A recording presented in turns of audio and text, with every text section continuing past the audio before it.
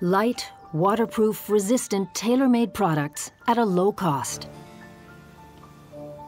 Plastic is irreplaceable, a perfect material at the center of our lives.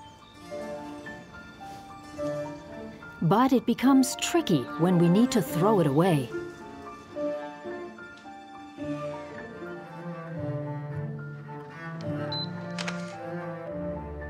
The world is drowning in plastic, and the artist Mandy Barker collects it on the beaches and in the seas throughout the world and displays it to illustrate what we cannot otherwise see. That plastic is now an integral part of our oceans, like algae and plankton.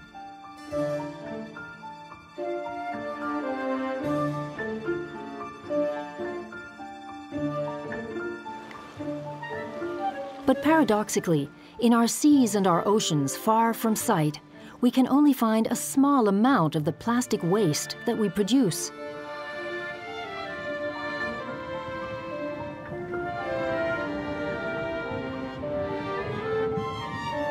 So what happens to it? Is it at the bottom of the ocean? Has it made its way into the food chain? Has it disintegrated in such tiny pieces that we lose all trace of it?